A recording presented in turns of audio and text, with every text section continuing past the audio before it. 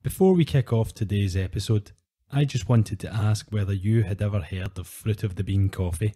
They are an American whole bean roasted coffee company with a purpose.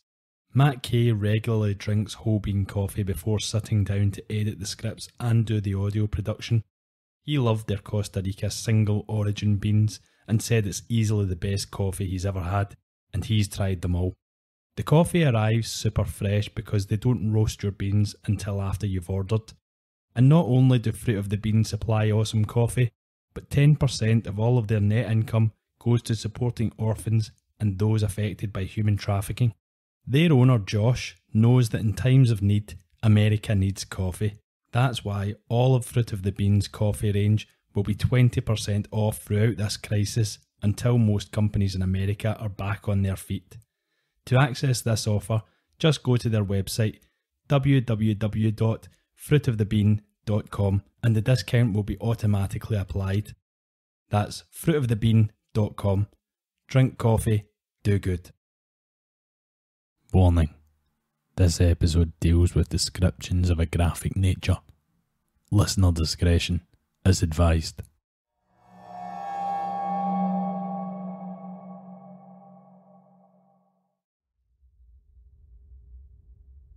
As the courtroom fell silent to hear the verdict, Judge Lord Nimmo Smith stated, quote, It lies beyond any skill of mine to look into the black depths of your mind.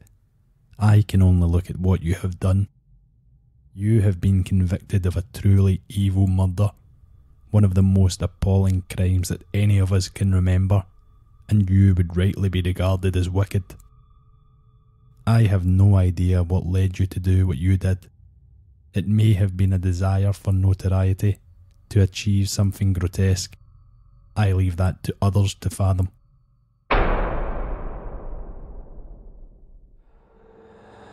I'm Jess, and this is Skinwalker.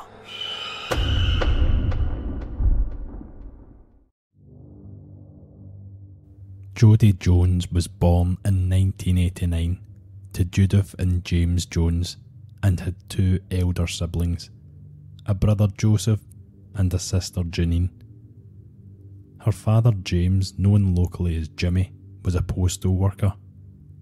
Jimmy had a history of mental illness, which culminated with him committing suicide in 1998, aged 39, by hanging himself from a tree in the family's back garden.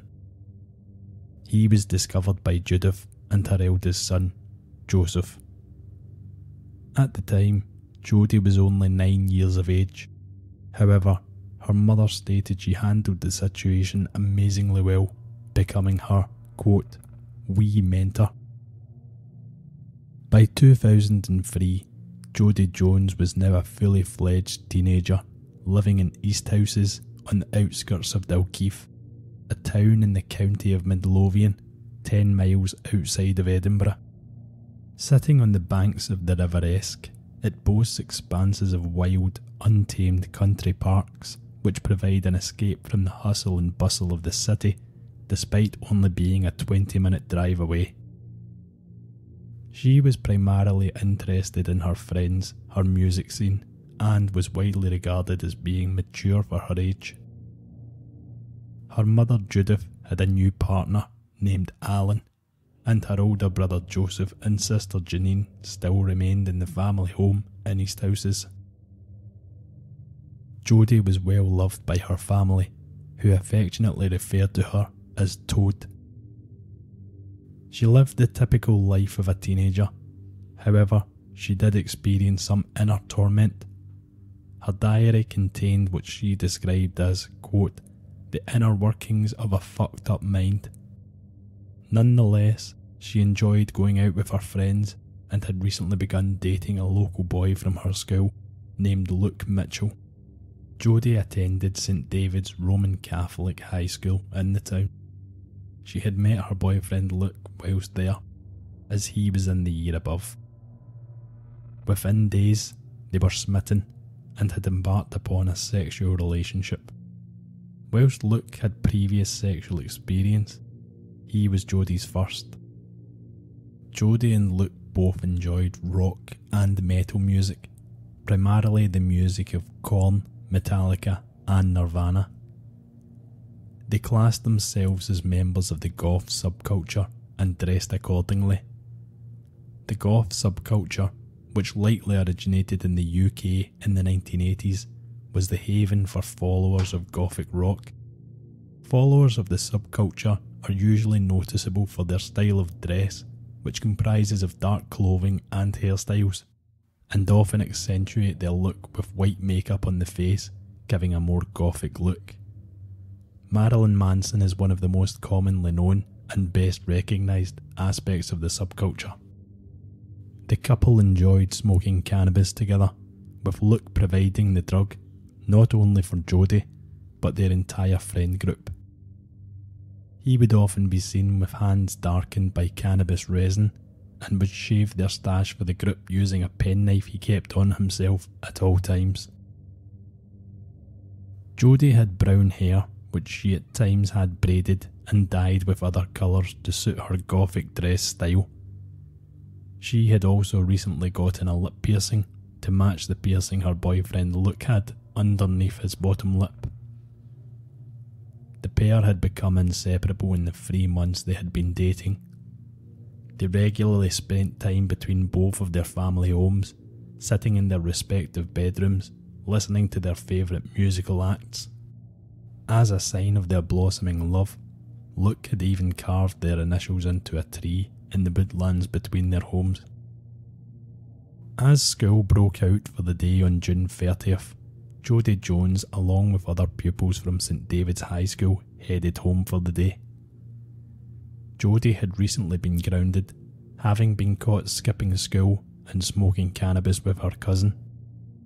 Judith Jones sat at home in East Houses when Jodi arrived home.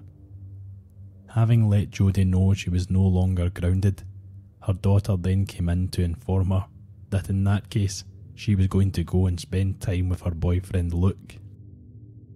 Judith informed Jodi that she expected to see her daughter back home by 10pm at the latest, as it was a Monday night. This allowed Jodi to spend an evening with Luke and still gave enough time for her to make the walk home and sleep for school the following day. Luke lived in nearby Newbattle. This was handy news for Jodi and Luke, as it meant the two families' hometowns, Newbattle and Easthouses, were connected by a shortcut known as Roan's Dyke. Roan's Dyke is a cycling and walking path which directly connects the two areas and brought the journey time for the mile and a half walk down to somewhere between 20 and 25 minutes for the average person. Judith therefore assumed Jodi would leave Luke's house around 9.30pm to ensure she made it home in time.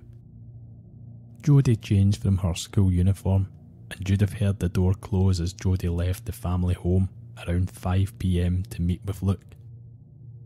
Judith was acutely aware of Jodi's new beau. His name was Luke Mitchell, and he was semi recognisable around the area.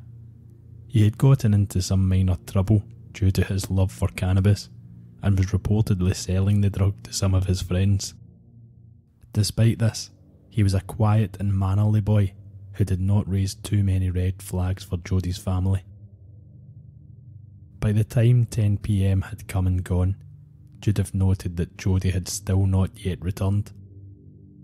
She began to feel restless and uneasy as she waited. The couple had begun dating around March of 2003, so the route was not an unfamiliar one to Jodi.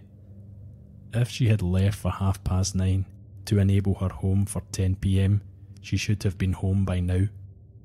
With panic rising, Judith called Luke to check what time Jodi had left his house at. If it had been later, she would have simply been en route and a stern telling off would suffice. Luke, however, was entirely surprised by the call.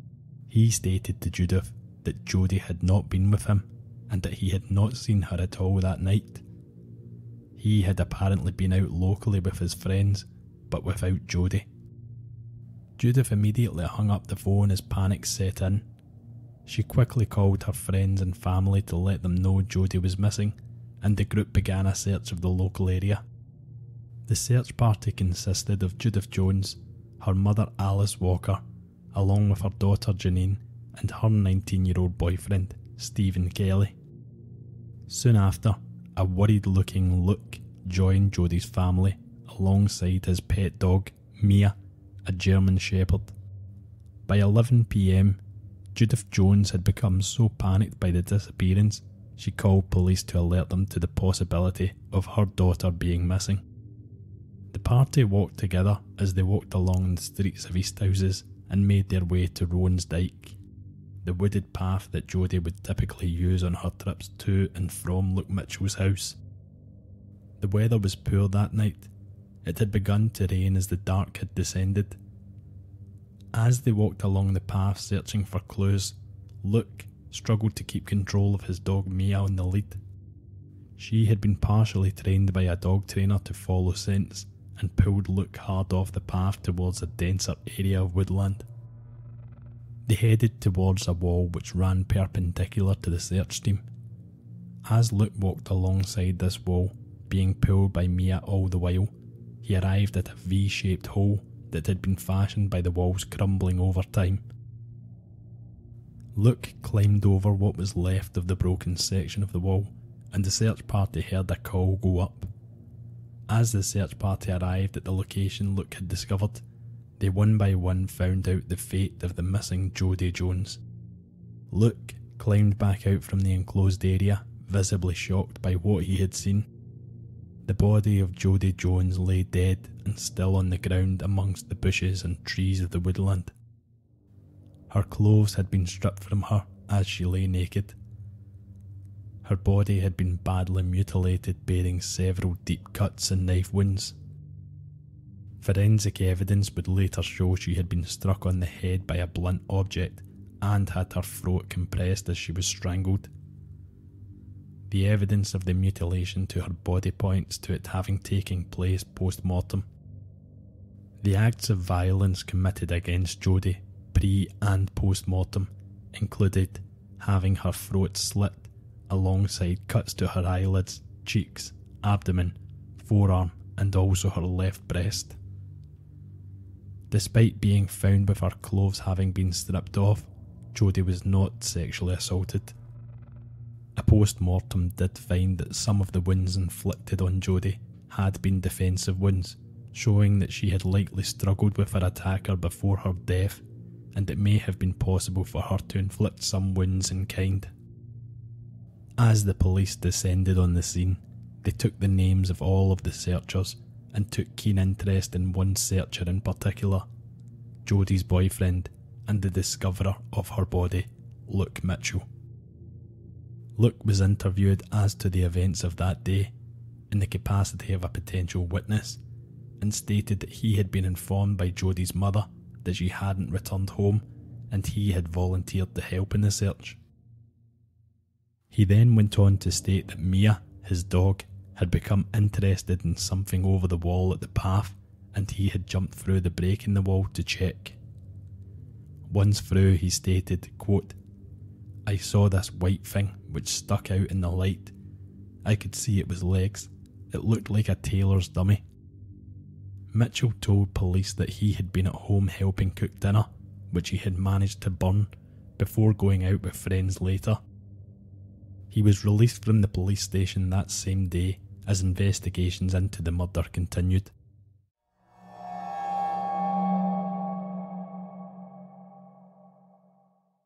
Many of the first run statements given by witnesses directly supported the version of events which Luke Mitchell supplied to Lothians and Borders Police in the aftermath. Pupils at St David's High School were informed of the death of Jodi in an assembly carried out just before the school broke off for summer holidays.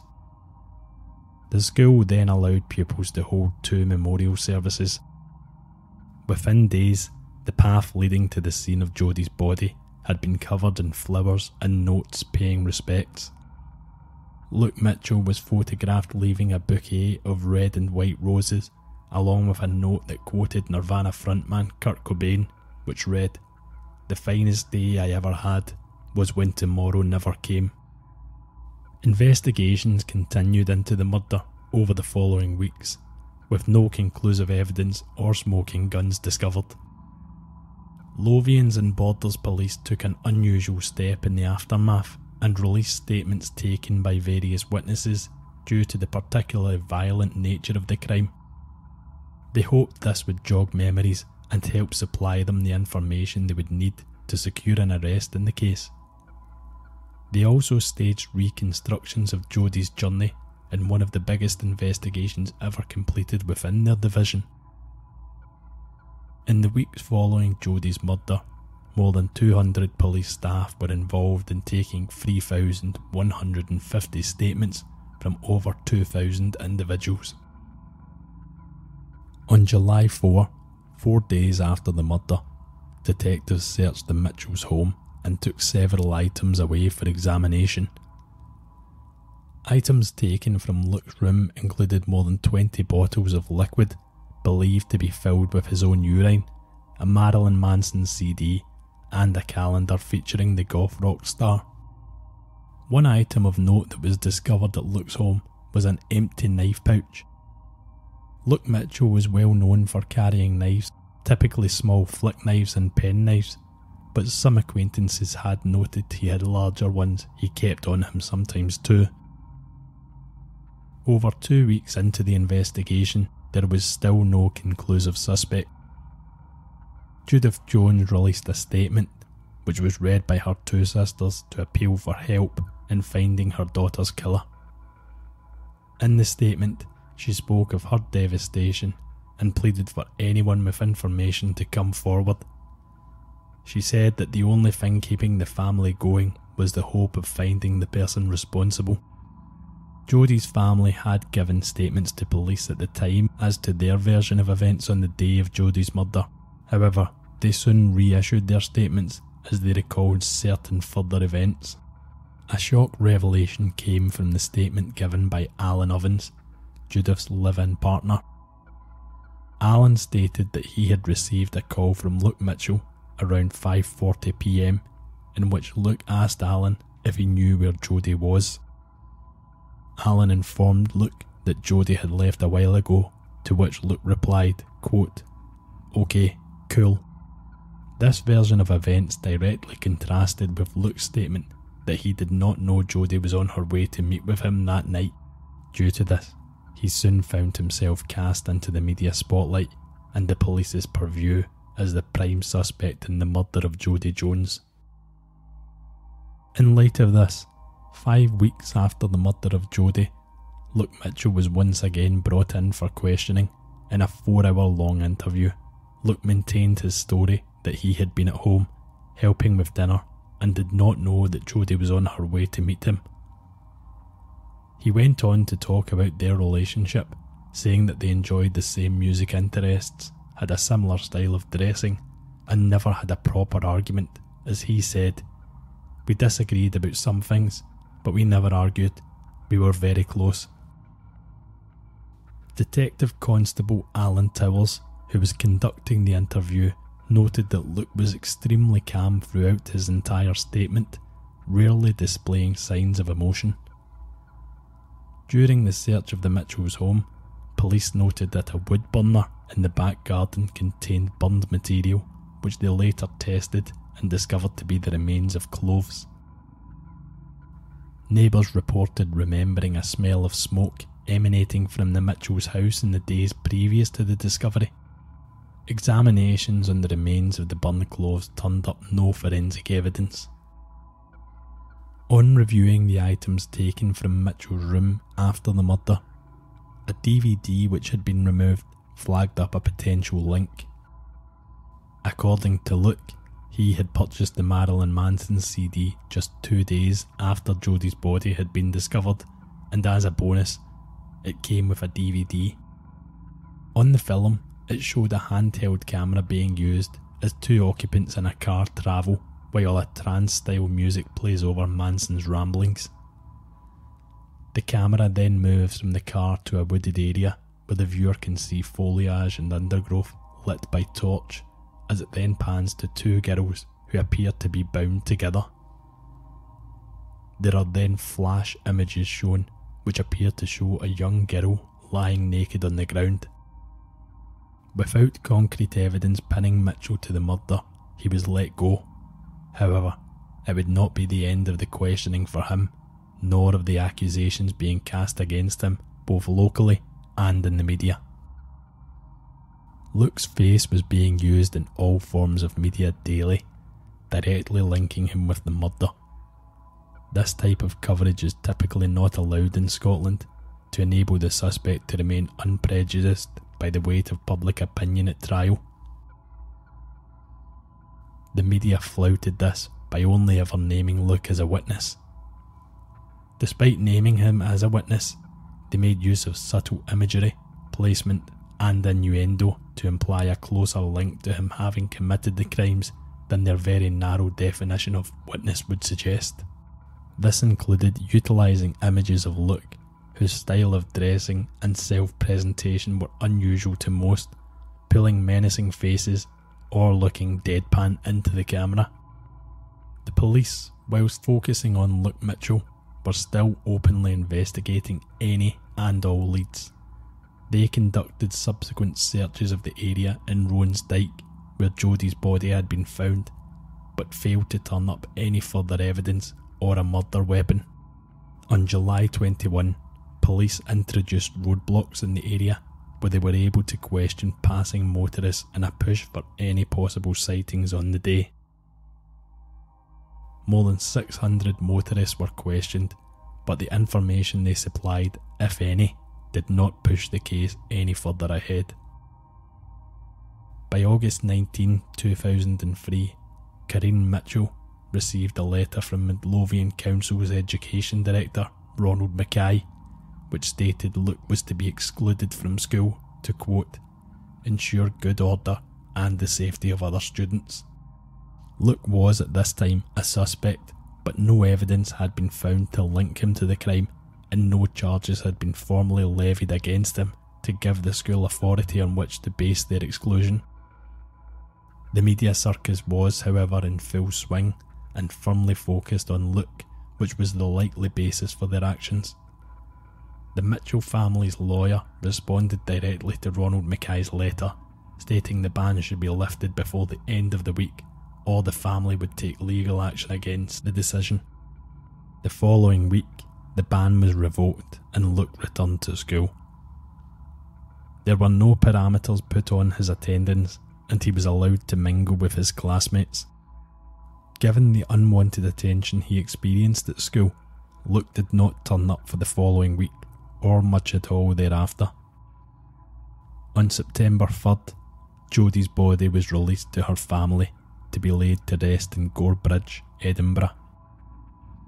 Jodi's family had warned Luke Mitchell to stay away as they did not want him near her ceremony. Luke Mitchell respected their decision. However, a live TV interview for Sky News was organised at his home on the very same day. Mitchell sat on his sofa wearing a black jumper and trousers. He had his blonde hair parted in the middle, and his mother Corinne sat next to him with her hands on his shoulders. When asked about his experience since the murder of Jodi by reporter James Matthews, Luke told him, quote, It's just been worse than a nightmare. At least a nightmare you wake up from eventually, but this, you can't wake up from it.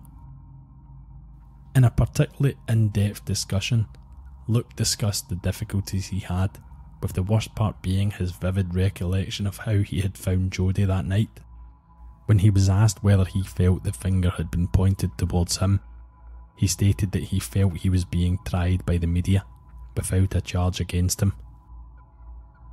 He noted the police had other suspects, that they had been conducting other inquiries, yet it only seemed to be him who had been linked to the murder. Having stated to James Matthews that he had an alibi for that night, and the police knew this, Matthews outright asked Luke Mitchell if he had killed Jodi Jones. Mitchell stated once again that much less than murdered Jodi, he had never even argued or fell out with her. Luke Mitchell had given a firm defence of himself, although one question within the interview did raise eyebrows. When asked whether he had burnt any clothes or whether a specific image was his missing knife, he replied that the burning of the clothes wasn't them The report in question simply stated that a female relative of the suspect admitted to burning clothes. It was noted in the aftermath that Luke did not answer the question related to the knife. Instead, he chose only to answer regarding the burning of clothes. At the conclusion of the interview, Luke Mitchell stated how much he misses Jodi and how he is reminded of her every day. The interview had been set up by the Mitchell family as an opportunity to show Luke was innocent and he had been unfairly judged in the media.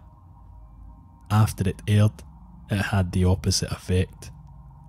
Many people at the time felt the way in which he carried himself and the specific words he had used when he spoke had in fact cast more suspicion on him. Pictures then surfaced showing Luke attending the grave of Jodi later that same day. He had went against the family's wishes for him to stay away, albeit attending once they had left. He left flowers and a poem he had written for Jodi.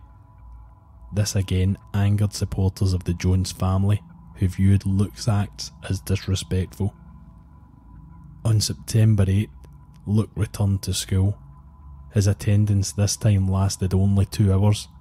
Headmistress Marion Docherty advised Luke upon speaking with him that he would be separated from other students and would be taking classes by himself. Luke was unwilling to have these rules forced upon him, and an argument ensued. The resulting incident ended with Luke being suspended for three days. Rather than returning after three days, he instead returned nearly a month later, on October 2nd. Once he arrived, the school notified him once again that he would now be receiving one to one tuition. The family's lawyer stated that Luke was now happy with this arrangement as he wanted a return to normality to focus on his studies. His returning academic focus was not to last for long. In late November, Lothians and Borders Police submitted their report to the Procurator Fiscal, Scotland's public prosecutor. The report was submitted by the police on November 21, but just a few days later, whilst the police's findings were still under consideration, the document leaked to the media. A frenzy ensued as the leaked documents confirmed Luke Mitchell was the sole suspect in the Jodi Jones murder case. The Mitchells were now being represented by famed Edinburgh solicitor Nigel Beaumont. He issued a statement in response which heavily criticised the perceived victimisation of Luke by the Lothian and Borders police. Beaumont stated that Mitchell's home had been subject to vigilante attacks that had left Luke and his mother shaken, with no action being taken by the local police. He further asked police to find out the source of the leak and demanded punitive action be taken. Legally, were a case to be brought against Luke Mitchell, as a minor there should be a ban on him being named even after charge.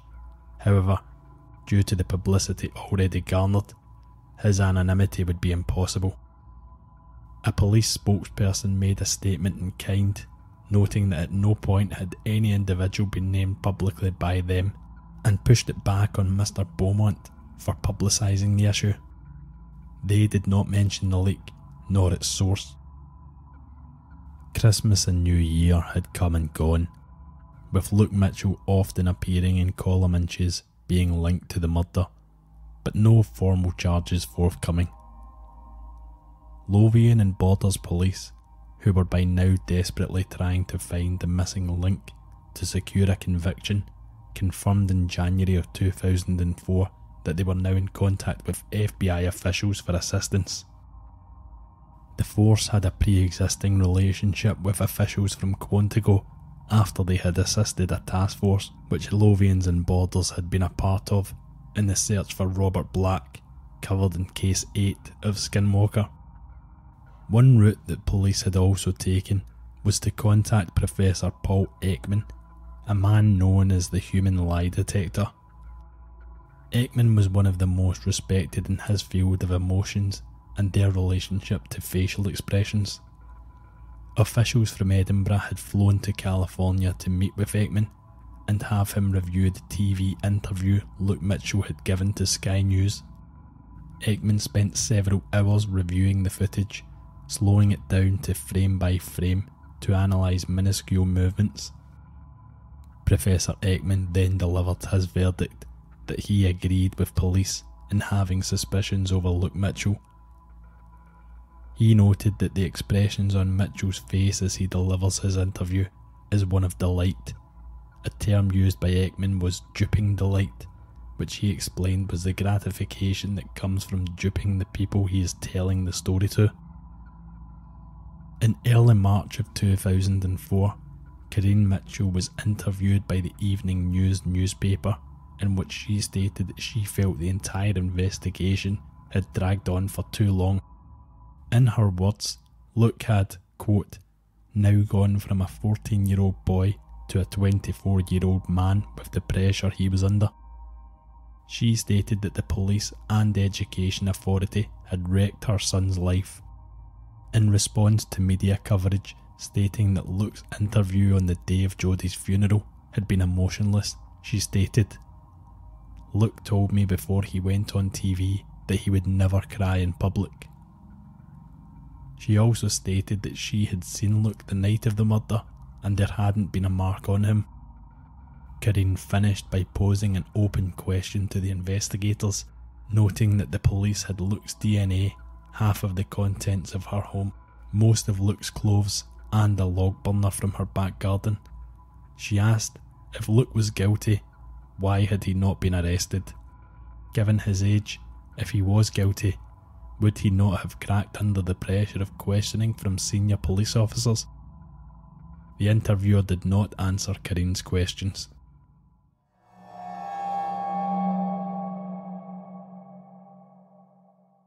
By the way, have you ever heard of Podcorn? Podcorn is a marketplace connecting podcasters to amazing podcast sponsorship opportunities, such as host read ads, interview segments, and a host of others. They've not just gotten us here at Skinwalker involved with some great brands for future collaborations, but they've gone one step further and even sponsored today's episode. It's an awesome platform for both podcasters and advertisers, which reduces the hassle in getting your advertising off the ground. Podcorn care about their affiliated podcasts and they're on hand to protect you, give guidance about how to approach advertisers, and how to market your podcast in a way that works for you. In terms of getting advertisers as a creator, you simply put together a small proposal for advertisers who you're interested in working with and set what you think is a fair value for your airtime. Once they accept, Podcorn puts you together in the workroom to tie together the last of the pieces. It's collaborative, but you never lose any creative control or rights to your podcast, and payment once everything is complete is super simple. For advertisers, it's just the same process from the other side of the glass, super neat and super simple. We've put a link in the show notes for Podcorn for those of you who want to start to explore sponsorship opportunities or start monetizing your podcast. Thanks for listening. Now let's get back to the episode.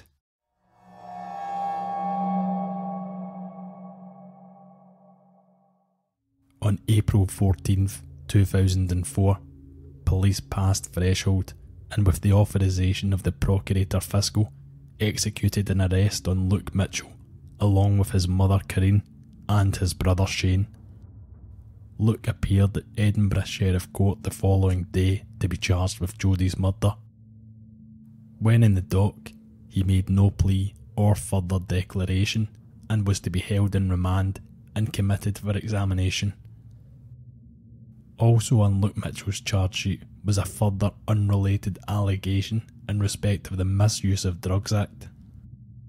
Corinne and Shane Mitchell were charged with perverting the course of justice. On April 22nd, Luke Mitchell was brought to appear in court in a private hearing. The presiding judge had informed him of the intended prosecution and that he will be put in a full trial in front of a jury of his peers for the murder of Jodi Jones. After this, Luke was once again remanded to secure accommodation. Luke Mitchell was at this time only 15 years old. As such, media blackouts were enforced for details from the case. The media, who had previously utilised Luke Mitchell's status as a witness to flout underage reporting limitations, had not been made aware of the developments in the case once it had made its way into the courts. As such, news on the case went quiet over the following months and had begun to drift out of people's daily view, given the case was currently in pre trial proceedings.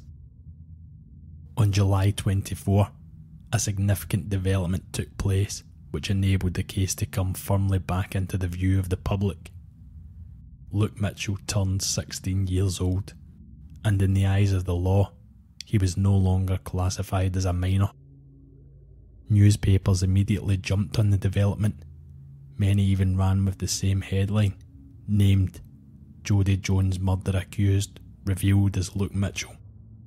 With the removal of much of the law obstructing them in the area, the media quickly moved on to the question of who was Luke Mitchell. Luke Mitchell was born on July 24, 1988, to parents Corinne and Phil. Luke's father Phil was an electrician, while Corinne was the manager of Scott's Caravan Park in Dalkeith. Luke was the second child of the couple, with his older brother Shane having been born in 1980. Luke was a keen fan of pony and horse riding in his youth, something his parents supported him in. His parents split when Luke was 11 years old, and his time was then split between spending weekdays at his mother's house and weekends with his father. Luke had an extremely close bond with Mother Corinne, and she was extremely protective over her son. Shane noted that he often felt like an outsider within his own home, given the closeness between Corinne and Luke. In his teenage years, Luke attended the Army Cadets in Bonnyrigg, only a few miles from his home. Luke's interest in music had grown during his teenage years as he became extremely interested in rock star Marilyn Manson and the bands Korn and Nirvana. Luke was charming to friends and girlfriends, however, his behaviour was less than exemplary.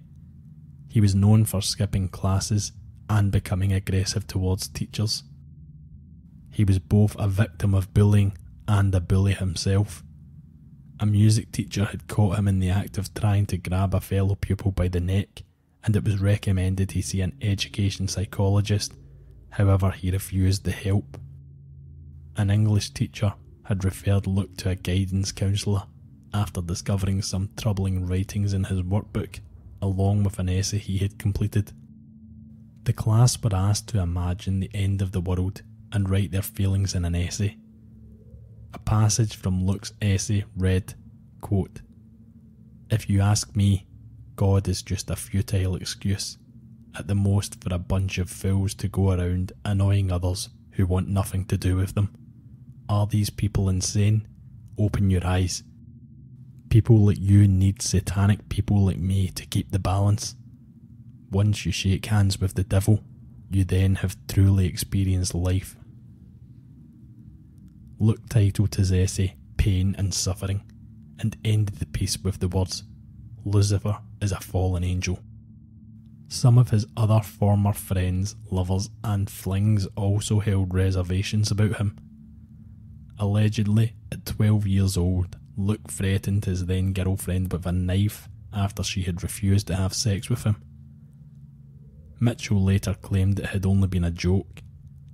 Due to his petty drug dealing, he was often seen with what other kids his age would deem to be a lot of money. He was known to carry a knife in a small holster, either a penknife or a flick knife. He was the clear leader of his friend group from the goth subculture controlling the group which would hang around in the woods of Woodburn and Dalkeith. The group would walk together through the trees and bushes, arriving at an area they called China Gardens, where they were free to smoke cannabis without interruption due to its remote location. One girl would later recall a statement made by Luke while they were present at the China Gardens, stating, He said that he could just imagine himself going out and getting stoned and killing somebody and how funny it would be. Despite his behaviour and the reports she received about her son, Luke's mother seen him as a sweet, innocent young boy who was just doing exactly what teenagers do. Jodi felt similarly strong about Luke. In one diary entry, she wrote, I think I am actually in love with Luke. Well, nearly. God, I think I'd die if he finished with me. When I'm not with him, I want to be. When I'm with him, I'm happy. He's the only person that makes me forget about most of the shit in my life, but sometimes when I can't forget, he makes me feel better. No matter what he says, I believe him, and that is really dangerous. Despite Jodi's adoration and dedication to him, Luke had also been in a relationship with a girl he had met while on holiday, Kimberly Thompson from Kenmore in Perthshire, an area just over 50 miles from Edinburgh, had met Luke Mitchell in the summer of 2002 while he had been on holiday in the area with his mother. Luke had become friendly with Kimberly's brother and he had introduced the pair. After leaving Perth to go home, the pair had decided to become boyfriend and girlfriend and shared texts and phone calls regularly. Luke once showed a photo of his other girlfriend Kimberly to one of his friends, and he was shocked to see the uncanny resemblance to Jodi Jones, later remarking that he believed at first it was a picture of Jodi he was looking at.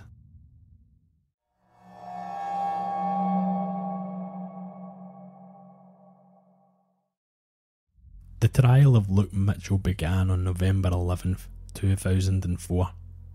He appeared in court with his long hair tied back in a ponytail. He wore a white shirt with blue tie and grey trousers. Mitchell was being represented by one of Scotland's top lawyers, Donald Findlay, QC, and he had lodged two defences for Mitchell to the murder of Jodi. His first defence was one of alibi and the second one of incrimination. Luke sat with his head bowed throughout proceedings, looking up only when the jury were shown maps and geographical images of the area in question. Within day one of the trial, the jury were shown two trees which had the initials JJ and LM carved into the bark. On day two of the trial, Lord Nimmo Smith warned the jury that they would be shown photographs of the crime scene alongside pictures of Jodi, which would be highly distressing. The photographs showed Jodi's naked body lying spread out near a high wall bordering the pathway. Despite the wounds having been described within the news, it was highly distressing for the jurors when close up pictures showed Jodi lying on her back with a deep gash in her stomach and a slash mark to her left breast. The images demonstrated to them areas of her face and neck which were extremely bloody. Further pictures showed the wounds to her cheek, ear, and throat. The first witnesses were called to testify, whereby it was discussed that Jodi was often seen at lunchtimes smoking cannabis with Luke Mitchell and their friends. Many repeated that they remember seeing Mitchell carrying a knife which he used to cut the cannabis. The trial was then halted on November 16 as two jurors were discharged due to personal difficulties. It is not confirmed if this was in relation to the graphic nature of the case. The case resumed once again on November 18, two days later with a new jury in place. The jury were once again informed of the geography of the area and shown the pictures of Jodi and the crime scene. The prosecution stated that Luke Mitchell had, in their words, guilty knowledge of the crime, which would lead him to find the body so quickly in poor conditions. Donald Findlay defended Luke's statement that it was in fact his dog that had become attracted to a smell and led Luke to Jodi. The prosecution said that the spot where it had been found was over a wall from the walk path and was hidden amongst the trees and undergrowth which any searcher was unlikely to look at.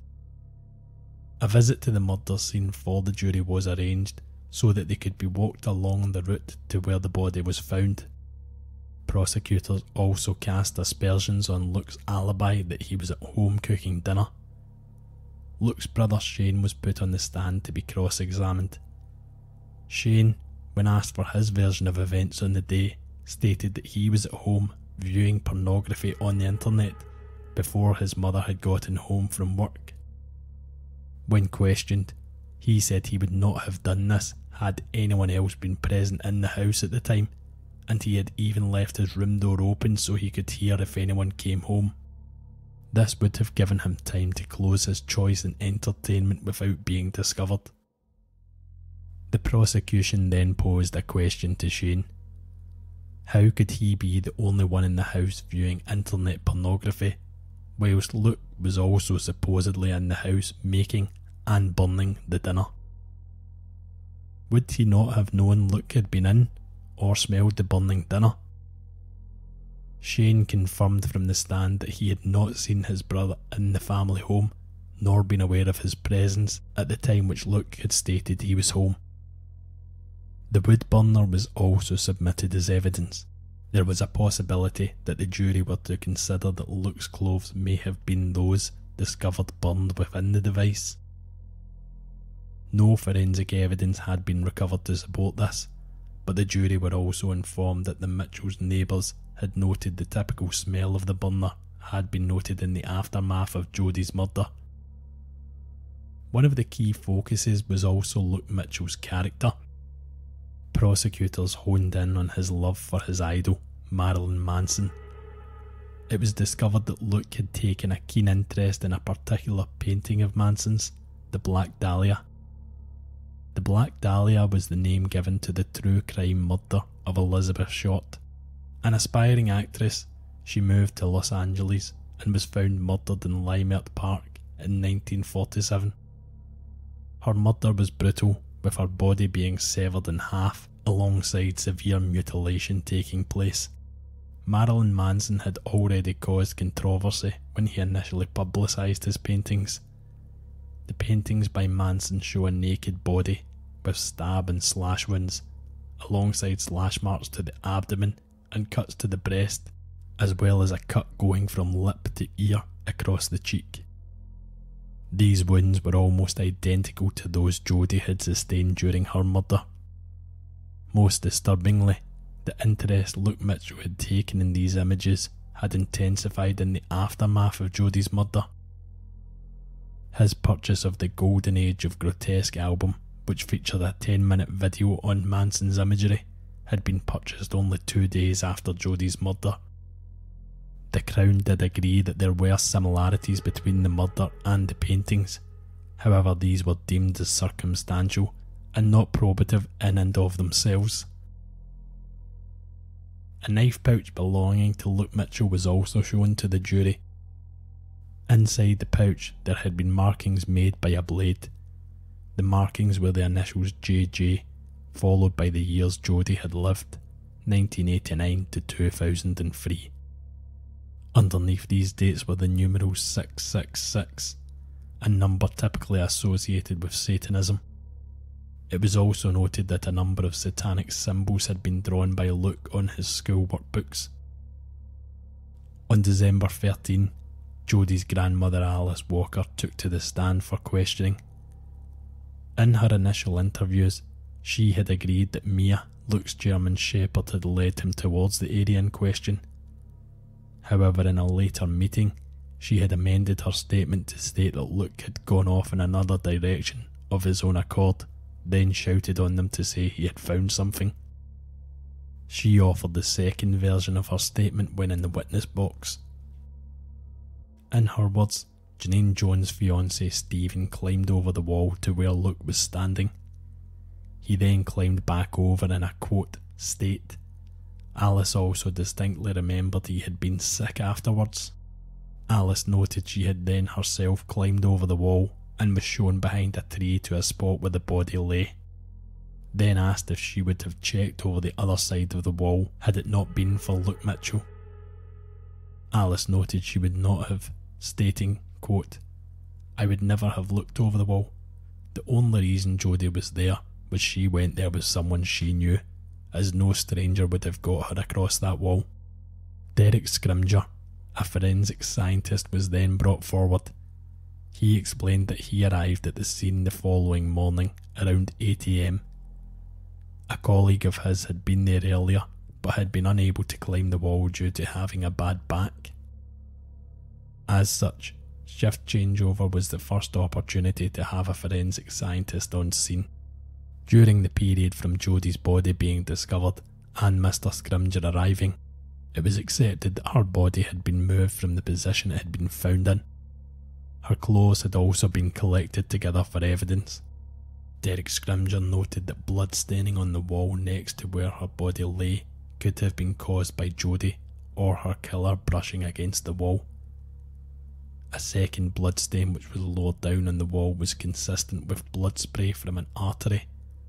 When he was asked if the blood spray being low on the wall would suggest she had been on the ground when this took place, Scrimger responded that given the angles and the way the blood hit the wall, Jodi would either have been kneeling or sitting. Alan Turnbull, QC for the prosecution, then asked if the assailant had been behind Jodi when she was low down at the wall and her throat was cut. Was it conceivable she had collapsed onto the wall and down to the ground thereafter, as the artery had been severed? Mr. Scrimger replied that it was one possibility, and then added that if Jodi's throat had been cut from behind, the blood would have travelled forward and may have avoided going on the attacker entirely. He then qualified this by noting that when her clothes had been removed, it would be more than likely that blood would have transferred onto the attacker if none had done so during the attack. After Mr. Scrimger's testimony, the day was adjourned. When they returned, the focus changed from the location to items recovered from the accused. Luke Mitchell's clothes had been taken for DNA tests at a lab using what was at the time the most sensitive DNA testing in Britain.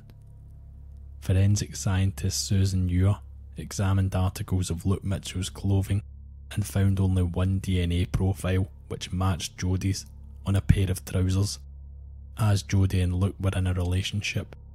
She mentioned any matching DNA might have been from innocent contact and no strong inferences could be drawn.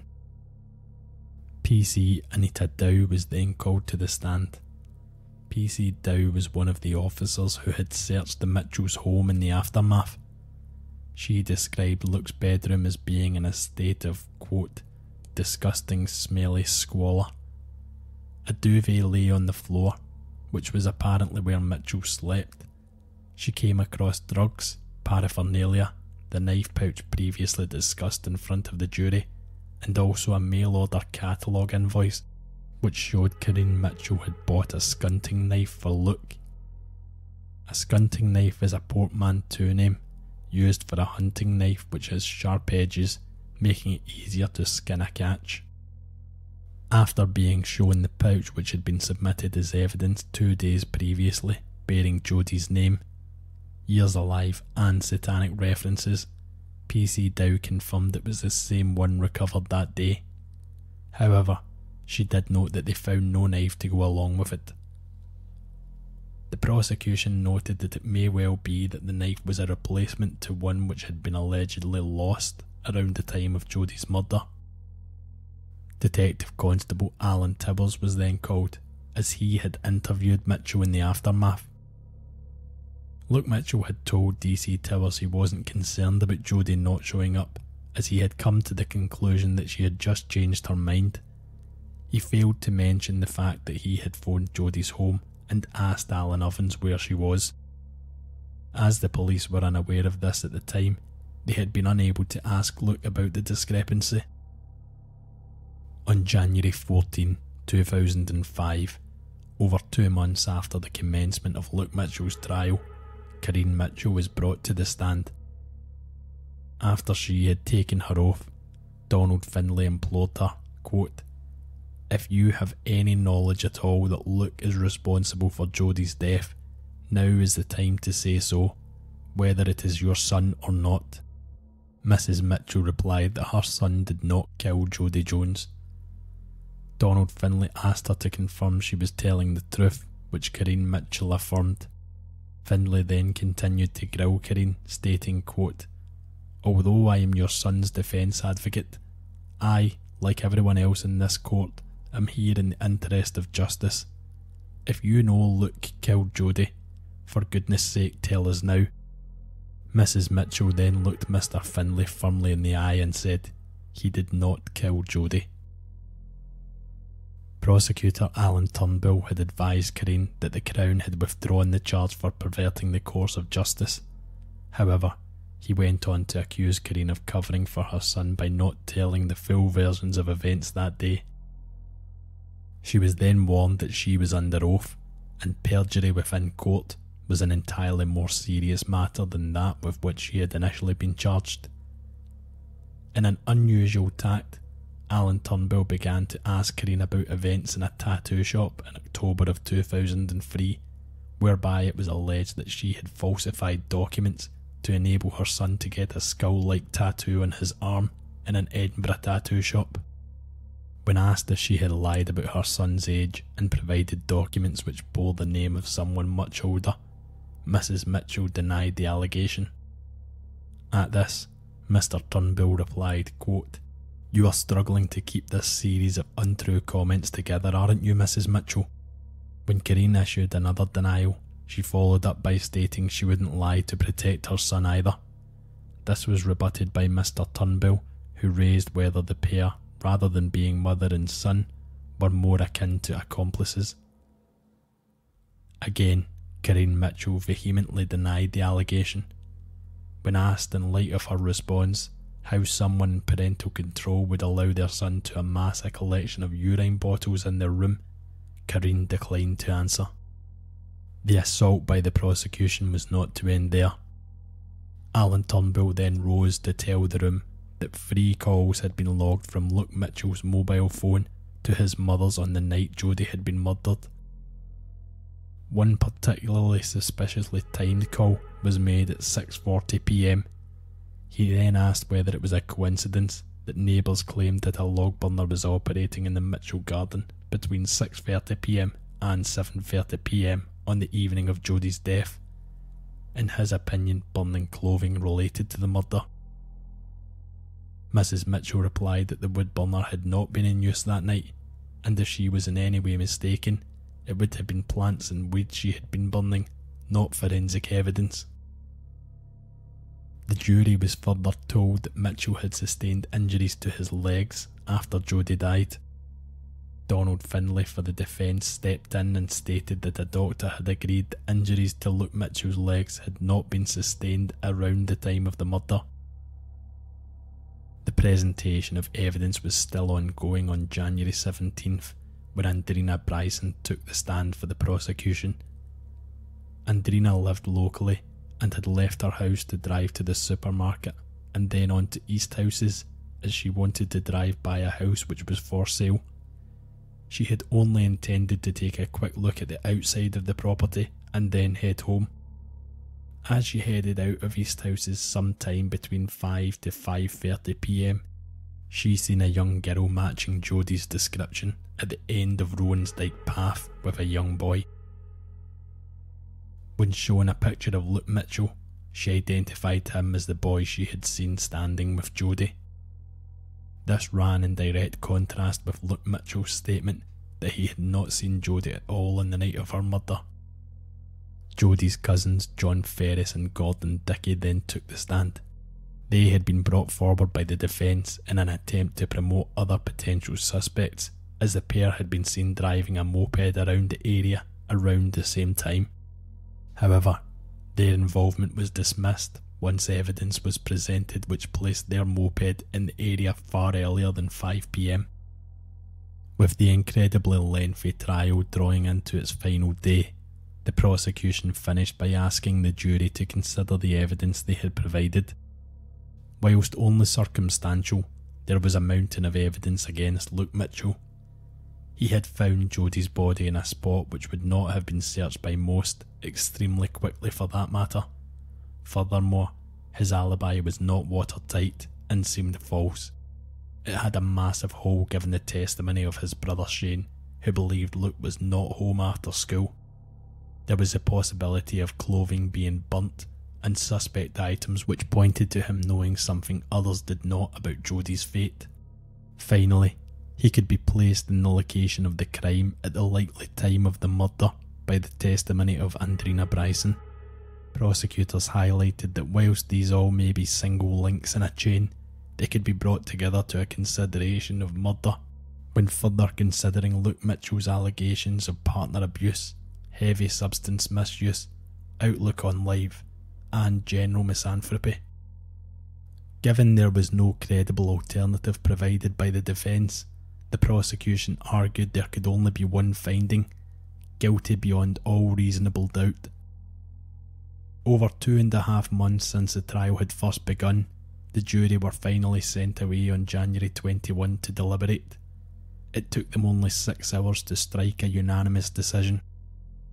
The courtroom was packed as both families had been separated on opposite sides in anticipation of the verdict. Judge Lord Nimmo Smith warned the courtroom to respect the decision and he would not accept any outbursts. According to a jury of his peers in relation to the murder of Jodi Jones, the jury found Luke Mitchell guilty beyond all reasonable doubt.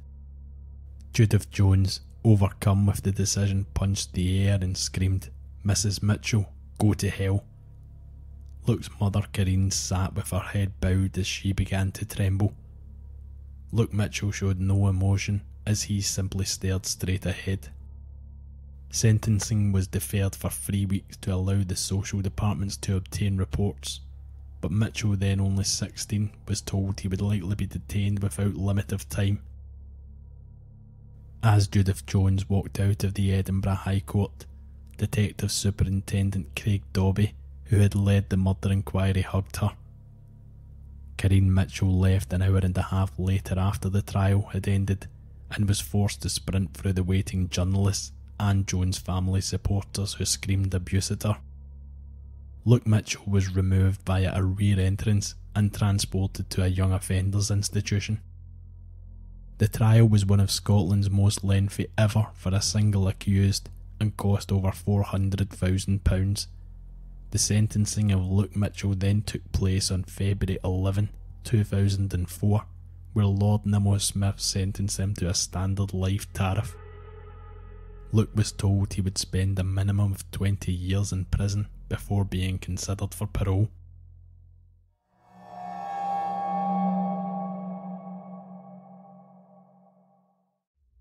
Eighteen months after the trial, Scott Forbes, a resident of Dalkeith, had come forward to state that he had potential evidence that could clear Luke Mitchell's name. Forbes stated that a local man, Mark Kane, had been near the woods on that day and had acted suspiciously in the days following. Forbes highlighted Kane as a drug addict. He claimed that he had scratches on his face in the days following the murder, and he had also written an essay at college titled Killing a Girl in the Woods. Donald Findlay supported these claims and stated Kane ticked all of the same boxes as Luke Mitchell had. After speaking to a lecturer at New Newbattle Abbey College, it was confirmed that no such essay was ever written, and Scott Forbes' claims were further cast into doubt when John Beckett, acting on behalf of the Crown, uncovered the fact that Mr. Forbes had concocted the plan in an effort to sell the salacious story to newspapers and magazines. After constant ruminations about appeals, in November 2006, Luke Mitchell was granted leave to appeal against his conviction at the Court of Criminal Appeal in Edinburgh on the grounds of the trial judge's refusal to hear the original case outside of Edinburgh, which may have prejudiced his hearing as it did not take into account the potential for local gossip and publicity to impact the trial hearing. Similarly, the jurors were not put in hotels for the duration, allowing them to come home and potentially be exposed to external influences on their judgment. The Court of Criminal Appeal in Edinburgh heard Mitchell's appeal in full throughout February of 2008. However, in May 2008, his original conviction was upheld, ruling that there was sufficient evidence in law that Mitchell could be convicted on. One of the few areas with which the justiciary agreed with Mitchell's lawyers was that the police's questioning of Mitchell on 14th of August 2003 had been outrageous and was to be deplored. A further appeal for Mitchell's conviction was heard on February 2, 2011. It was refused by a 2 to 1 majority. The Lords in agreement stated they found the evidence to be sufficient. However, they believed that the sentencing seemed harsh and a more appropriate sentence may have been set at 15 years. Nonetheless, they lacked the legal authority to reduce Luke Mitchell's sentence since they had agreed with the initial trial judge's decision. Dr. Sandra Lean, who lived in Dalkeith at the time of the murder, has also publicly supported the family since the conviction. Her PhD thesis studied, quote, the factors that led to wrongful convictions and why ordinary people are completely unaware of them. She has written a book on her experience with the Luke Mitchell case, Innocence Betrayed. Throughout the book, she reiterates her belief that Luke is innocent and posits a number of local men as potential suspects for the crime. None of these men have ever been under police consideration, and police steadfastly believe in the conviction of Luke Mitchell. In 2013, both Luke and Corinne Mitchell undertook polygraph tests to support their claims of innocence. The tests were carried out by Terry Mullins of the British Polygraph Association. The video of Luke Mitchell's test was published by Corinne online. Luke sat with his eyes closed throughout and appeared to be focusing on his breathing as he answered the questions. Mullins asked him did he know for certain where Jodi's body would be found? Mitchell responds, no. Mullins can then be heard asking him to stay very still after this answer. Mullins then asks, Prior to Jodi going missing, do you remember intentionally lying to a police officer? Luke once again responds, No. It has been noted by many that this question states prior to Jodi going missing, suggesting this would be before the murder. When asked, Did you stab Jodi on the 30th of June 2003? Mitchell once again responds, No. The video ends before Mitchell's eyes are opened, and once again, Luke Mitchell displays little to no emotion on the tape. The video finishes with Mullins reporting that his polygraph test confirmed Luke Mitchell had been telling the truth in all answers. There have been a number of key issues raised with these tests. One being they are inadmissible in Scotland as evidence, the second being that the Mitchell family paid for the test, which may hamper the veracity of the information, and thirdly, polygraph tests are fallible in nature. On June 30, 2013, Jodi's family paid a special tribute at her grave as family members gathered to celebrate her life, placing her favourite sunflowers by her grave. It is a tradition they do yearly as they leave flowers at her grave, along with the path where she was found and other special places to them. Finally, feeling that Corinne Mitchell had gone too far in the defence of her son, Judith Jones attended Scott's Caravan Park in early September of 2013 to confront her.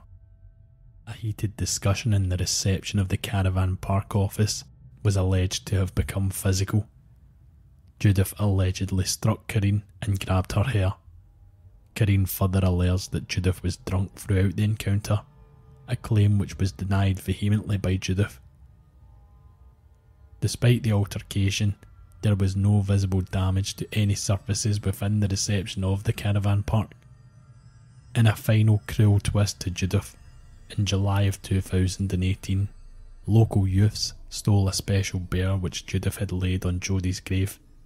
The item was never recovered, despite significant appeals within the media and on Facebook for its return. Luke Mitchell and his mother Corinne still protest Luke's innocence in the case to this day.